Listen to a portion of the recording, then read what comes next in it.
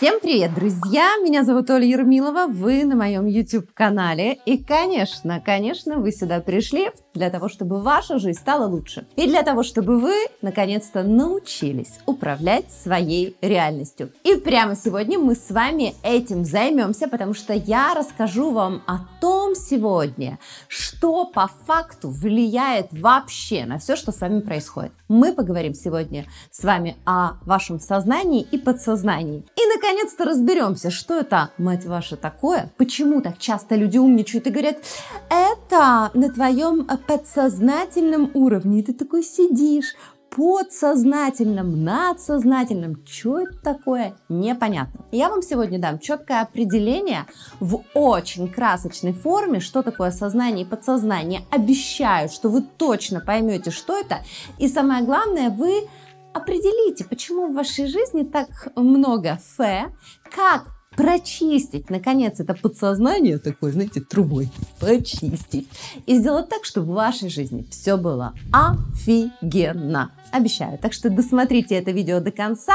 Если не подписаны, бэум, подпишитесь, пожалуйста, потому что мой канал точно даст вам классную пищу для ума. А теперь очень важная информация. Я буду говорить вам ее до тех пор, пока вы наконец-то не возьмете и не прочитаете мою книгу, которая называется «Как изменить жизнь за одну книгу». Вы можете найти ссылочку под моим видео и скачать ее прямо сейчас, а также можете прослушать ее, потому что я своим голосом, который, я надеюсь, вам не надоел, начитала ее и рассказала эту крутейшую историю, которая в течение самого короткого времени поможет вам изменить свою жизнь к лучшему. Так что досмотрите это видео и не забудьте скачать мою книгу.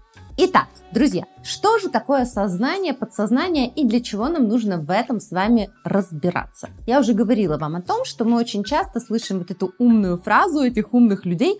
Это находится на моем подсознательном уровне. Ты такой, угу, да, на моем подсознательном уровне. Сидишь, умничаешь, а для чего это непонятно. Я бы первое, что вам хотела сказать, нужно перестать разговаривать на темы, которые вы не понимаете. Нужно перестать делать то, чего вы не понимаете, и наконец-то сделать так, чтобы все было понятно, и вы могли четко научиться ставить свои цели, достигать свои цели с улыбочкой, на кайфе. В общем, все как надо. Итак, давайте будем разбираться.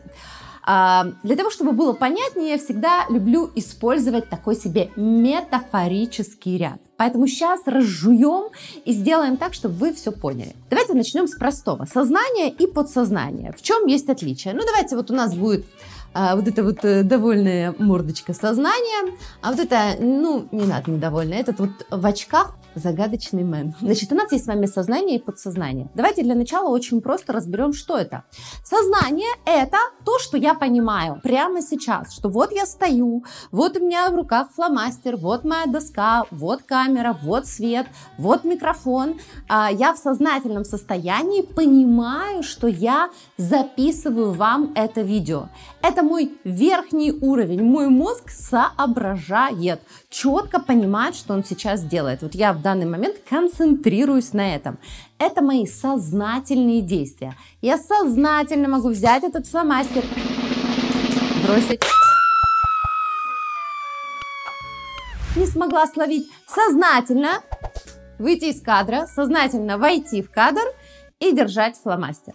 Это мое сознательное действие. Если говорить про подсознание, вот подсознательно я, например, сейчас разговаривать, могу жестикулировать, я не особо думаю, куда пойдет моя рука, это какие-то мои действия. Подсознательно, на подсознательном уровне стою утром, чищу зубы автоматически, одеваю свои штаны, это тоже у меня на уровне подсознания. На уровне подсознания я знаю, что я утром выгляжу прекрасно. Вот это поворот! Или вы знаете, что утром вы, боже, кошмар какой, как вы ужасно выглядите. Сознательно Сознательно я знаю, что я готовлю, э, точнее подсознательно, я знаю, что я готовлю самый вкусный в мире кофе, или вы подсознательно уверены, что вы не умеете готовить яичницу. То есть вы ее не готовите, потому что вы ее не умеете готовить. Откуда вы это знали? Как говорится, хз. Просто вы знаете, что нет. Вот этот наш набор того, что мы о себе знаем, Это наш подсознательный уровень. Набор того, что мы делаем автоматически, это наш подсознательный уровень. То есть я не думаю в этот момент, что мне нужно взять тюбик, выдавить зубную пасту. Нет, я просто это делаю, я держу фломастер, я пишу. Это уже вбито. Можно сказать, что подсознание – это уже уровень того, когда уже эта привычка вбита. Это первый вам пример. Давайте погнали, чтобы было понятнее. Мы можем также разделить сознание как на верхний уровень, подсознание как на нижний уровень. Вот это наш мозг, и у нас тут есть с вами два уровня. Сознание, подсознание. Значит, на сознательном уровне а я, например, э, например, я не уверена, что я умею готовить. Ну, типа, я еще никогда не готовила. И вот я начинаю жить со своим мужчиной. И приготовила ему утром э, блинчики. Блинчики стояла на сковородке, что-то стрепала, смотрела там в книжку, в кулинарную, в интернет. Боже, вся потом обливалась, пот туда и налила. А, и приготовила блинчики. И тут мой мачо такой утром. Я же такая, господи, готовила блинчики, готовить-то не умею. Мама говорила, что руки из заднего места. И тут он такой... Зай, это такие вкусные блины. Ты такая, эти? Он такой, ты видишь, что у него волосы из блина твоего торчит, видишь капельку пота, и такая, тебе нравится? Он такой, да, Зай, это вкусные блины. Ты такая, yes. На следующий день тебе приходит подружка. Ты такая эти блинчики раз и приготовила. Волосы убрала, пот убрала, уже отделила, научилась, как жел... желточки с белочками. И подружка такая, блин, мать, так ты умеешь готовить? Ты такая, М-м, думаешь, жду маму. Приезжает мама. Мама же вот это, ручки и жопки, ты у меня там, значит, рукожопая. И ты такая маме думаешь, длины, волосы не убираешь, пот не убираешь, даже слез добавила. И мама такая, ну, дочь, так ты умеешь готовить? И ты такая, и на подсознательный уровень. Я готовлю блины лучше всех. Я мастер по блинам. Я самая крутая герла в блинах. Нет ни одного человека, который бы готовил блины лучше, чем я. Все, ты на подсознательном уровне. Ты такая, так, надо денег намутить. Курс «Как приготовить лучшие блины». Кто я? Эксперт по управлению блинами. Я пеку блины уже 100 тысяч лет. Я написала книгу «Как испечь блинчик лучше всех». Я научу вас, сучки, продавать свои блины и зарабатывать на этом миллиарды. И вот вы уже эксперт, вам аплодируют на сцене. И вы знаете на подсознательном уровне, что вы умеете печь блины. Не знаю, что ваш парень потом, ему не понравились ваши блины. Но хорошее слово парня дало вам заряд. И вот вы со сцены стоите, овация, аплодисменты, и говорите, я хочу поблагодарить своего парня, который однажды похвалил мои блины, и теперь я миллиардерша. И парень такой, Дура! У тебя блины невкусные! Но это уже не имеет никакого значения, потому что ваше подсознание приняло, что вы мастер по блинам. И вот так на наш подсознательный уровень входят так называемые программки. Причем здесь могут быть как такие гениальные программы, так и программы, что вы неумеха, дуреха, фиговая любовница, уродка, э, не умеете зарабатывать денег, хреновая мать. Тут уж знаете, как вам с окружением повезло, что впитали, то, как говорится, впитали. Это если вкратце. Теперь давайте рассмотрим более красочные примеры, которые дадут вам понимание того, из чего вы состоите в контексте своего сознания, подсознания, кто у вас там живет, и как со всем этим разобраться для того, чтобы создать свою офигенную жизнь и вот эти вот рукоплещущие залы в контексте просто вашей жизни, ваших жизненных результатов присутствовали у вас. Теперь давайте перенесемся с вами в красочный мир. Если когда-то вы были в приемной, например, вам нужно было прийти в гости к очень такому серьезному, важному мену, то вы знаете, что все выглядит так. Первое. Есть какая-то приемная. В приемной всегда сидит куча людей. Вот они там сидят, такие людишечки, и ждут. Значит, там когда же их пустят? Их там много, и, как правило, в такую приемную все люди приходят. В приемной есть всегда большая дверь, за которой сидит кто-то очень важный. Ну, в нашем случае это будет такой злой такой человек, он, потому что он очень важный, все боятся к нему попасть.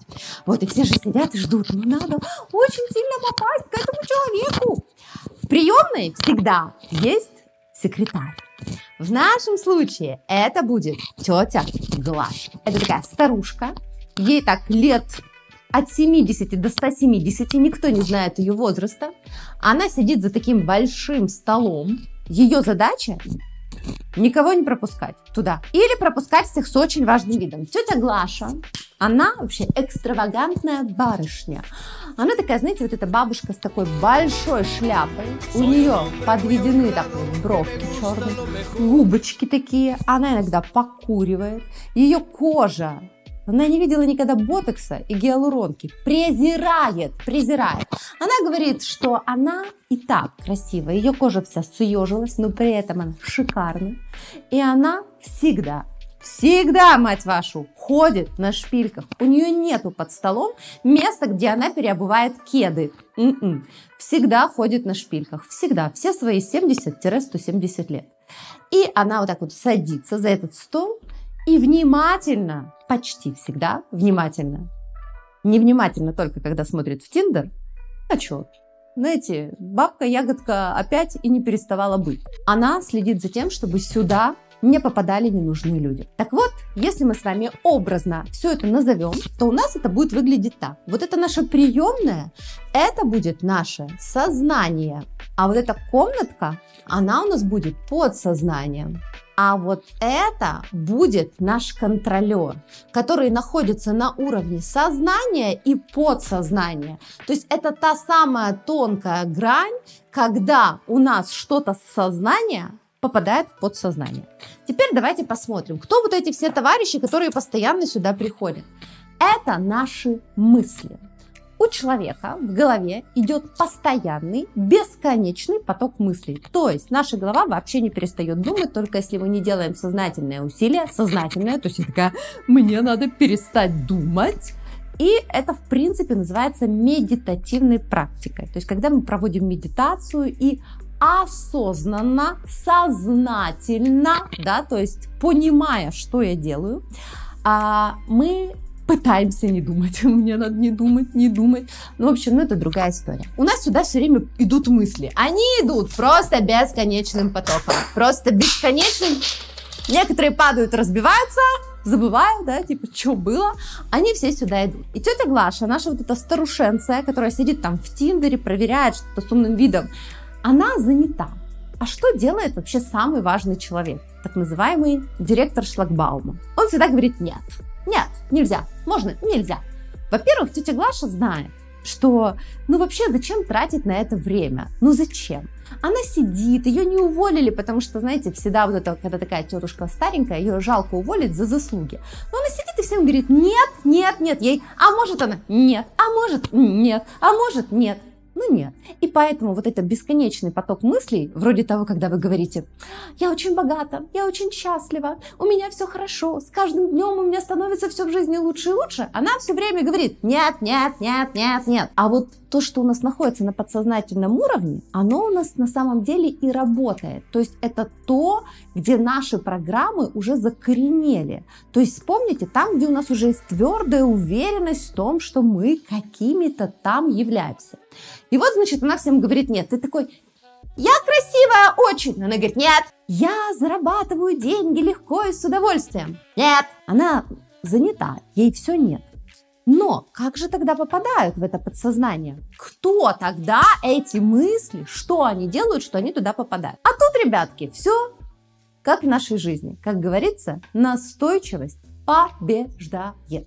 Поэтому, когда к ней, нашей тете Глаши, регулярно приходит одна и та же мысль, тетя Глаша, она всегда поднимает глаза и такая, нет, нет, нет, Потом видит, что кто-то сильно настойчивый, он уже ее достал.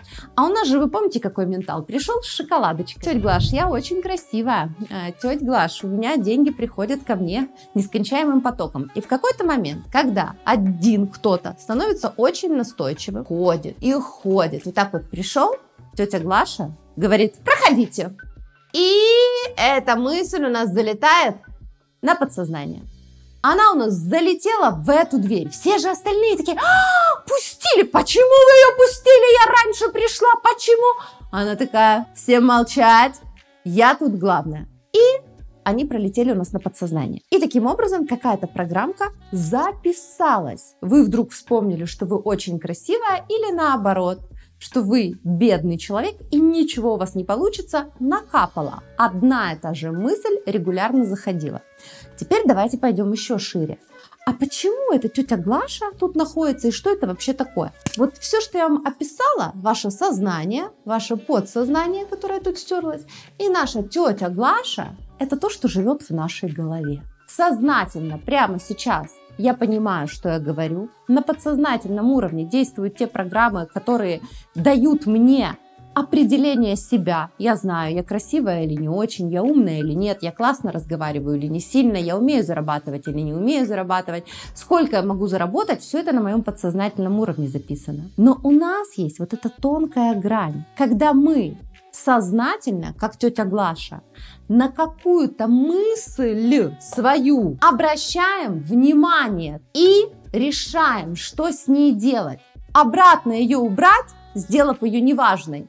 Или, простите, вдолбить ее в свою голову, впечатать корректнее так, впечатать, для того, чтобы она у нас пролезла на подсознательный уровень. Многократное повторение одного и того же утверждения прорывает нашу мысль обычную с сознательного уровня на подсознательный и превращает ее в программу, потому что человеком управляют программы. Точно так же, как в посудомойке есть программа, вы нажимаете на кнопочку и все, вам не надо каждый раз посудомойке объяснять, дорогая посудомойка, сейчас тебе нужно запустить воду, потом тебе нужно через эту дырочку впустить средства. Нет, посудомойка все знает. Если вы посудомойка, то вы включаете краник, берете моющее средство, мочалочку, вот вы посудомойка. А если у вас посудомоечная машина, она знает все автоматически. Вы определяете, какую мысль вы хотите довести до автоматизма, чтобы у вас была твердая уверенность в том, что вы такой человек, или ее убрать. Дело в том, что есть проблемка. Вот эта вот тонкая пленочка – это наше сознание, а это наше подсознание, а вот это тетя Глаша.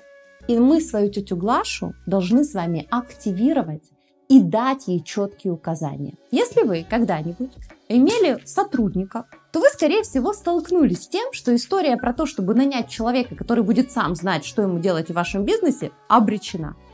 Хорошая компания всегда имеет четкие инструкции для своих сотрудников. И каждый сотрудник в той или иной ситуации должен знать, что он делает, как себя вести, какие он функции исполняет, какие не исполняет и так далее. Дать ему должностную инструкцию.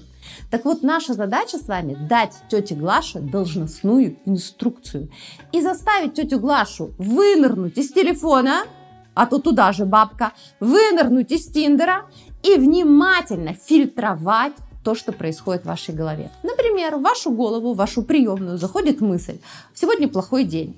Тетя Глаша говорит «Чего? Ты что сюда пришел? А ну пошел вон, сегодня отличный день». «Эй, вышел! Отличный день, зашел!» У нас сегодня отличный день, прекрасный день, замечательный день. Тетя Глаша отфильтровала. Или вы говорите, ой, я такой больной. Тетя Глаша говорит, чего, чего? Она же Тиндер уже не смотрит. Она говорит, вышел. У нас сегодня мы супер здоровые, вы сильные, мы смелые, никаких чихов, ничего. Мы полны здоровья. И если наша тетя Глаша включается и работает по той должностной инструкции, которую вы не поленитесь создать, то вы начнете очень четко контролировать и отсеивать мысли. Тетя Глаша должна четко усвоить, что ни одна негативная мысль не должна пройти мимо ее внимания, даже на сознательном уровне. Тетя Глаша должна передвинуть свой стол вот сюда и даже в сознательном уровне не пускать и говорить «Стоп! Стоп! Никакие в сознательном состоянии в приемную не проходят. В приемную проходят только самые классные мысли. Самые классные, самые лучшие. Те, которые делают нашу жизнь лучше. А ты пошел вон. Не место здесь нытью, не место здесь хандре, не место здесь рассказам о том, как страшно, плохо. Нет. У нас здесь самые лучшие топовые мысли. Мы здесь олимпийские чемпионы по самым крутым мыслям. И другие сюда не пройдут. Вот так должна заработать наша тетя Глаша. И для того, чтобы это произошло, мы в сознательном уровне прямо сейчас должны понять, что наши мысли определяют нашу реальность. И когда по нашей приемной ходят черные мысли, стоит ли говорить о том, что кто-то из них обязательно прокрадется вот сюда. Тогда, когда тетя Глаша уснет, когда у тети Глаши появится свидание на Тиндере, и она подкрасит губы красной помадой, выйдет на шпильках, кто-то обязательно прокрадется в подсознание. Тот, кто скажет, что у тебя ничего не получается, что в мире сейчас невозможно никак преуспеть, что ты страшная, одинокая и так далее. Но Давайте теперь разберемся, а что вообще творится за вот этой черной дверью на подсознательном уровне. Ведь мы же с вами только сейчас узнали, что происходит в нашей голове. А каждому из нас-то уже сколько-то лет, и у нас там на подсознательном уровне, значит, много гостей в виде наших глубочайших убеждений. На моем канале уже есть видео, в котором я рассказываю о том, что такое убеждения и как они влияют на нашу жизнь. Поэтому обязательно посмотрите после этого видео, если вы еще не смотрели, а, видео про убеждения, потому что вы сможете еще лучше понять эту тему и начать доставать все ненужные убеждения, которые и отравляют вашу жизнь. Но давайте вернемся к тайной темной двери нашего подсознания. Мы видим таких яркие некоторые программы, где написано, например, «Ты умница, у тебя все получается», «Ты красоточка, у тебя все зашибись», «Ко мне легко приходят деньги». Убеждения, программки, они все время пульсируют и соединяются с вибрациями нашей Земли. И притягивают, исходя из этих убеждений, к нам и денежки, и классных учеников, потому что ты убежден в этом, у тебя появляется энергия. Посмотрите обязательно мое видео про э, вибрации энергетические, которые мы с вами излучаем, каким образом мы притягиваем в свою жизнь э, те или иные ситуации. Обязательно посмотрите, и вы поймете, о чем я говорю. Вот это наши позитивные программы, и они у нас все время работают. Это вот, знаете, как на сервере, когда вы там смотрите по, по телевизору, такие большое количество ящичков, и они там что-то все работают, благодаря чему мы с вами можем коммуницировать через интернет, да, вот эти все страшные названия с серверами, у нас с вами все точно так же. Мы притягиваем к себе, вот у нас удача в деньгах, у нас там удача с учениками, например, э, я очень классная мама, и там у нас очень классно все с детьми, есть какие-то такие программки. Но у нас с вами таких программок в процентном соотношении обычно сильно меньше, чем других программ. Потому что негативные убеждения которые живут на подсознательном уровне и которые определяют, например, у меня плохая фигура, у меня ничего нового уже не получится, я уже старая, у меня уже все позади, на новый, новый бизнес я не могу начать без денег, старый бизнес не могу начать, потому что ничего не умею, все мужики козлы, заодно. И вот здесь у нас вот такие сидят большие, большие товарищи. Я их называю ждуны. Помните ждунов? Вот это все такие огромные, такие мощные, толстые убеждения. От чего зависит величина этого убеждения? От того, как часто мы об этом думаем и во что мы верим. Когда нам часто что-то повторяют, мы превращаемся, у нас эти, все падает в убеждения, но если вы очень часто еще и продолжаете думать о том, что, например, денег много не заработать, вся семья у меня бедная, и вообще это невозможно, это сложно, и можно только украсть все деньги мира. Короче говоря, они превращаются в вот таких жиряков. Когда жирный кто-то Ему уже лень шевелиться. Он уже обрастает жиром. Иногда он писает под себя и даже какает. И все это жутко воняет. Поэтому тут есть такое разделение, такая маленькая комнатка убеждений позитивных и огромная комната негативных убеждений. Они там все сидят такие жирные, покуривают сигары, рассказывают про жизнь какая сложная жизнь, как тяжело, как я знаю все про эту жизнь. И в эту дверь наша тетя Глаша, помните нашу бабенцию красивую? Тетя Глаша такая, как обычно, ха-ха, а она сюда даже не заходит. Она двери открывает, пропускает, но не заходит, потому что там воняет. Она не хочет. А вы тоже туда не лезете, потому что, ну, что-то там есть у вас какие-то программы убеждения, вы туда не хотите, вам туда не надо. Ну, я уже все знаю про жизнь, вы говорите. Все, жизнь такая, как она есть. Мне уже 30, 30, я уже познал жизнь, уже куда, в моем-то возрасте уже... В общем, никто туда не заходит. Но Помните, мы говорили с вами про должностные инструкции? И вот мы и говорим, тетя Глаш, а ну иди-ка ты сюда. Че вспомнила про меня? Я тут все знаю уже, я тебе, дочечка, порядочек навела. Не лезь, иди, живи своей жизнью. Говоришь, тетя Глаш, ты же в моей голове живешь. Иди сюда, бабка. Она приходит, недовольная, потому что любой сотрудник недоволен, когда его шеф вызывает. И вы говорите, тетя Глаш, ну ты классная, там все дела, ты мне нравишься. Ну слушай, надо бы порядочек навести там в подсознании у нас что-то пованивает так. Мне как-то тяжело стало, у меня такая тяжесть в желудке, потому что что-то там я не могу ни от чего прорваться. Денег хочу заработать, а мне на подсознательном уровне говорят, не получится, не лезь, тебе не дано. Хочу от этого избавиться. Тетя Глаша говорит сначала вам, я туда вообще не пойду. Хочешь, иди сама, там воняет. Вы говорите, тетя Глаша, ну ты же на меня работаешь, а не я на тебя. Ты же на меня работаешь, тетя Глаша уверена, что вы на нее работаете. Она говорит, нет, ты на меня работаешь, я сама решаю, как тебе жить. Ты говоришь, нет, тетя Глаш, это я решаю, как мне жить, и я решаю, что ты будешь делать. Мы с тобой отправляемся на уровень подсознания. Мы с тобой открываем дверь и заходим. Тетя Глаша надевает противогаз, страшно недовольная, в первый раз за все время снимает каблуки. Там сидят эти все жирные ждуны. Жизнь говно, все сложно, я ничего не стою, я мать с тремя детьми, я больше никому не нужна. И задача тети Глаши взять по одному этому убеждению ждуну за шкирки, вытащить на сознательный уровень. Когда мы вытаскиваем свои убеждения, например, что денег не заработать, мы вытаскиваем этого ждуна огромного, толстого, вонючего.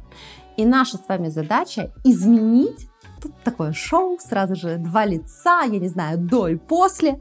Наша задача изменить и сказать, деньги я зарабатываю с легкостью. Есть миллион возможностей заработать денег. Он говорит, да нет, вранье, не может такого быть. И ваша задача на сознательном уровне провести работу со своим вот этим ждуном. Как работается с таким старым убеждением? Первое. Нам необходимо это убеждение найти и вытащить на сознательный уровень. То есть понять, что это убеждение есть, что оно нам мешает, оно нам не нравится. Когда мы вытаскиваем, у нас включается комплексный подход. Помните, как в любом шоу, там есть стилист, парикмахер, психолог, гинеколог, стоматолог. У нас включается комплексный подход. Первое, мы начинаем работу, разговариваем с этим убеждением. Мы ему говорим, ну подожди, ну давай посмотрим. Сколько людей зарабатывает много денег? Вот, вот моя подружка. У нее нету богатых родителей, у нее нету богатого любовника. Она просто сделала вот такое дело, вот так-то работала, и у нее получилось. Вот посмотри на нашего соседа.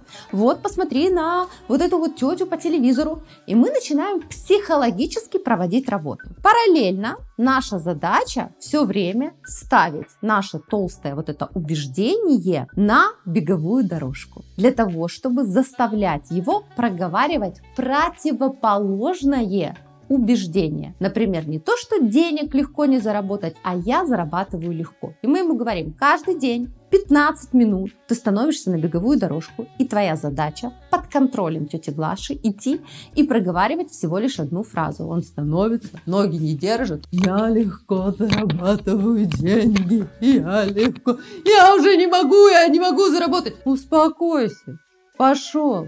Я легко зарабатываю деньги. Проходит неделя, и мы видим, что наше убеждение подхудело.